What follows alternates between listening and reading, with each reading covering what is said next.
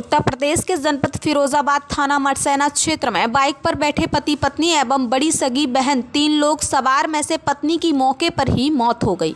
तभी पति वेदपाल पुत्र प्यारेलाल उम्र 34 वर्ष, निवासी सैफई जनपद मैनपुरी, पत्नी रेखा एवं रेखा की बड़ी बहन रीना को अपनी बाइक पर बिठाकर मक्खनपुर मेला की तीज देखने आ रहे थे। तभी अचानक सामने से आलू से भरे ट्रैक्टर ट्रॉली का पहिया निकलने पर ट्रैक्टर का संतुलन खराब होने से बाइक सवारों में जा टकराया। वेदपाल की पत्नी रेखा की मौके पर ही मौत हो गई। सूचना पर पहुँची थाना मटसेना पुलिस ने अपनी जिप्सी में आनंद फानन में वेदपाल एवं मृतक रेखा की बड़ी बहन को भर्ती करा दिया।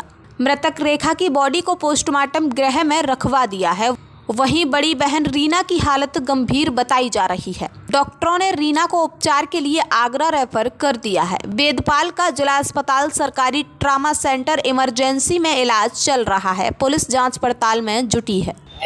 वहाँ से वहाँ से वो एक्सीडेंट हो गया है।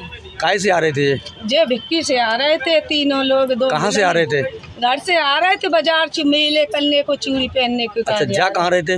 मेले को काजे जा रहे थे। मेला करिया एक मक्खनपुर का। अच्छा मक्करपुर का मेला। हाँ। एक विक्की में तीन लोग थे? तीन लोग थे। दो लेडी एक जेंट्स? हाँ आपके कौन है वो? एक मेहमान है दो लली है। अच्छा तो जिसमें कैसी किस तरह की हालत है उनकी? अब क्या मालूम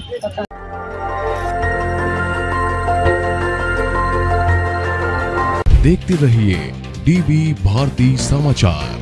नज़र हर खबर पर।